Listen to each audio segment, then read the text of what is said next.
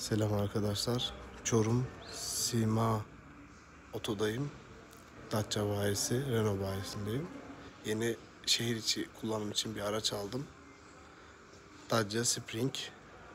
Ufacık, küçücük, incecik lastiklere sahip. Güzel bir araç. Şehir içinde park sorunu olmayan. Tüketimi çok düşük bir araç. Şimdi bu araçla yola çıkacağım. Tokat'a, Zile'ye geçeceğim. Ne kadar tüketim yaptığını size paylaşacağım. Minik otomobilimizle yola çıktık.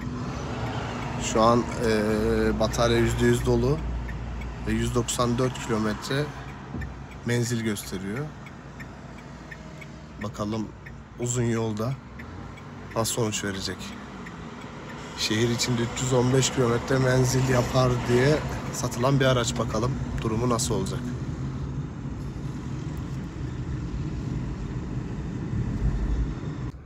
İlk izlenimi aktarayım arkadaşlar. Ee, şu an 198 kilometre menzil gösteriyor. Batarya %100 dolu. 18 kilometrede aracın e, fabrika menzili oldu. E, Herhangi bir ortalama yakıt tüketimi falan göstermiyor. Sadece burada e, tüketimi ne kadar çıktığı, eko mod işte ya da geri kazanım modu diye aşağıda şöyle ışıklar yanarak gösteriyor.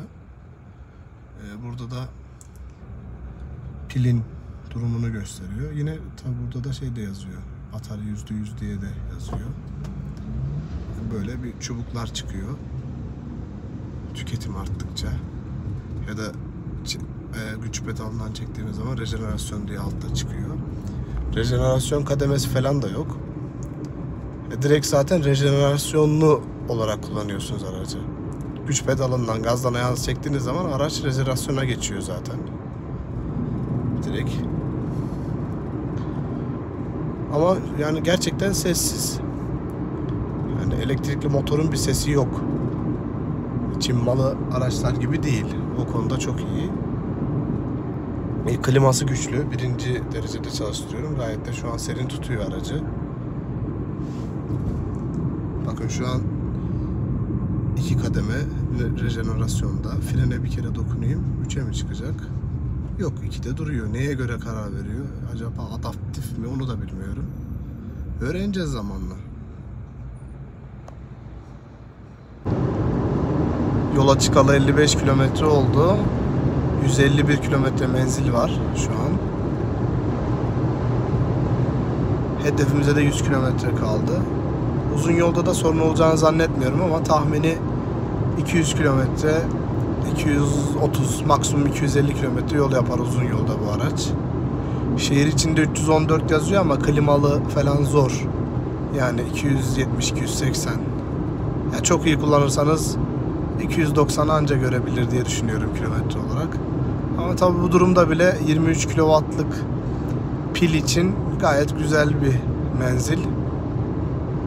Tüketimi çok düşük kalıyor.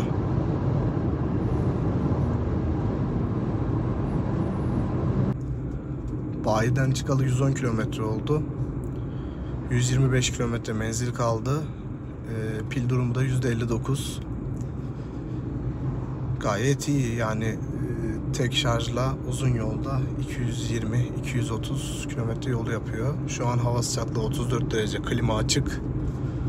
Tabii bu hava sıcaklığı 20-22'lerdeyken falan bu araç büyük ihtimal 260-270 kilometreye kadar yol yapar diye düşünüyorum. Bu internetteki yorumlara baktığımız zaman 150-160 anca yapar diye yazan arkadaşlar da bu yazdıkları yazıları bir gözden geçirmesinde fayda var. Bence gayet mantıklı. 175 kilometre oldu buraya kadar. 25 kilometre hedefimize kaldı. 63 kilometre menzilimiz var. Pil durumda %29. Sorunsuz varacağız herhangi bir sorun olmadı.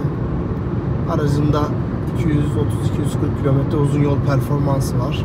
Şehir içinde önceden de söylediğim gibi 280 hatta iyi kullanımda 290 kilometreye kadar görebilir bu araç. Tercih size kalmış. Şehir içinde az tüketimli bir araç istiyorsanız tercih edebilirsiniz. Teknoloji çok yok. Standart bir araç yani. Düşünülebilir. İzlediğiniz için teşekkür ederim. Kendinize iyi bakın.